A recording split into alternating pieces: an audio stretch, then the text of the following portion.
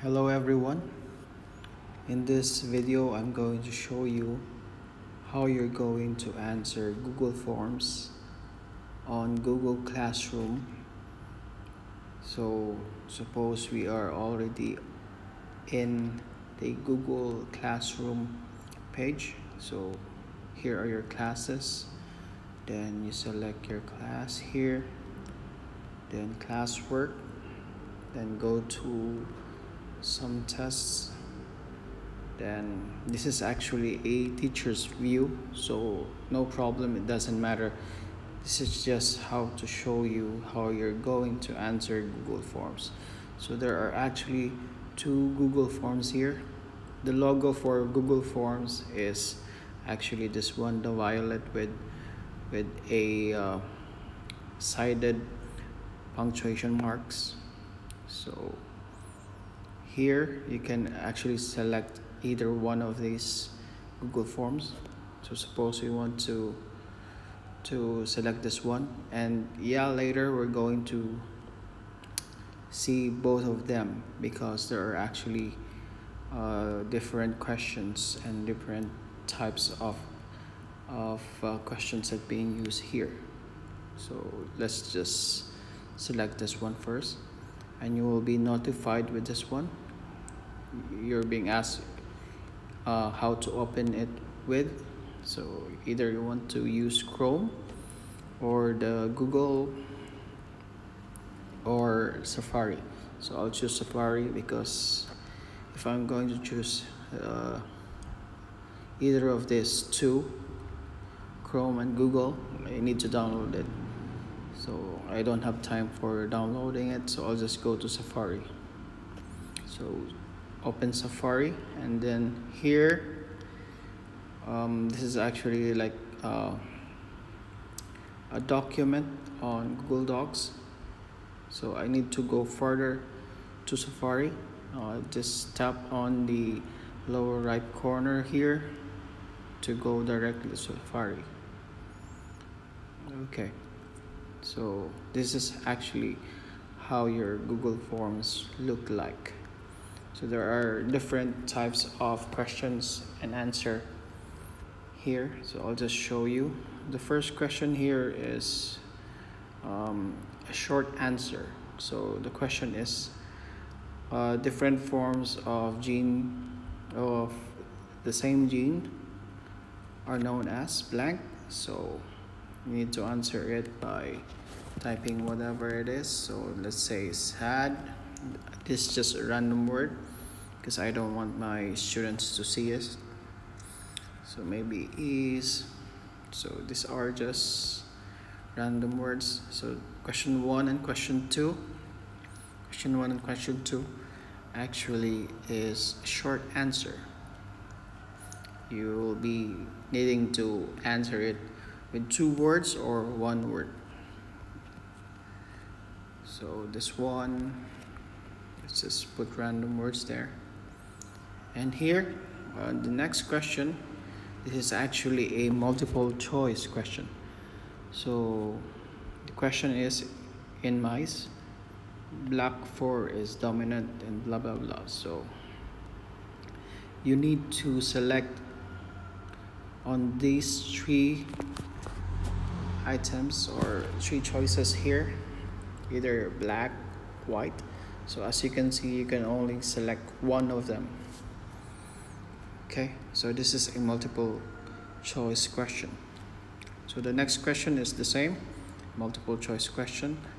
So we are actually answering it already and we're going to see what will happen after we go we're finished answering all of them so another one a multiple choice question.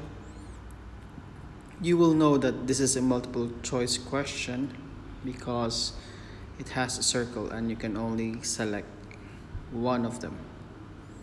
And after this there is another set of questions. Just tap here next this one.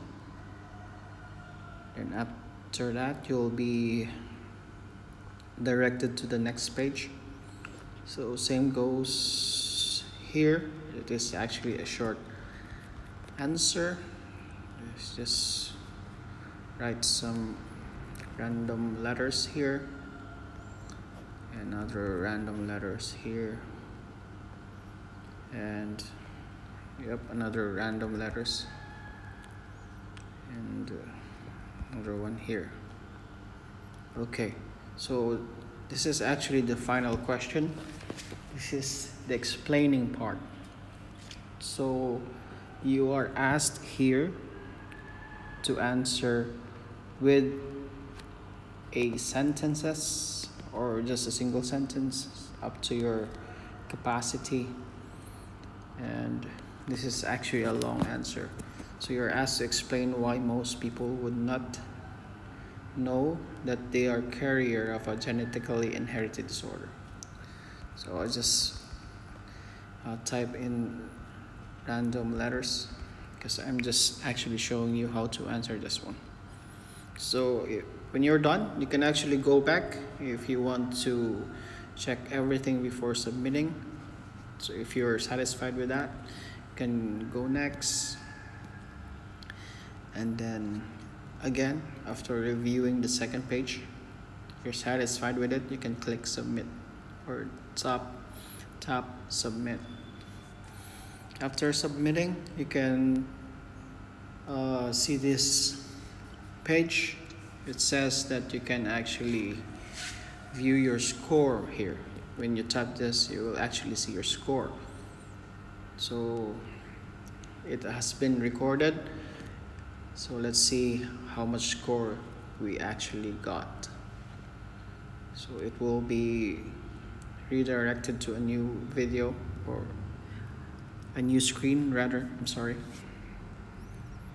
So here this is actually a new page. You will see the answers. So you got total of 3 out of 14 on these questions. So you can see there all your wrongs of course that is wrong because it's a random one. Okay the short answer actually has has a correct answer with it. And on this final question here you will see that I put points will be or point will be added for the correct responses questions. So I need to read your answer on this question first and I'll just add it to your final answer. So suppose um, you got this one wrong. Take note if you got this one wrong don't worry. I'll be actually reading your answers here and I will add it to your final answer or final points. So instead of um, 3 out of 14 so suppose you got the last question correct. This worth 3 points here then I'll just add it in your total points. That makes it 6 over 14 almost but not quite. You didn't pass though so this is one of the Google Forms. And let's go to the other one. So let's say going to this one. So same procedure as we did earlier. Let's go to Safari. Here this type of question is you can choose multiple answers. So let's say you selected all of them. So as you can see you can select deselect the answers. So suppose you selected all of them which is actually wrong. You cannot actually select all of them. Points will be deducted if you do so I I don't uh, want you to do this. Otherwise you will have no score for this one. So the next question is multiple choice. Third question is same as with the first question. The next question is the short answer.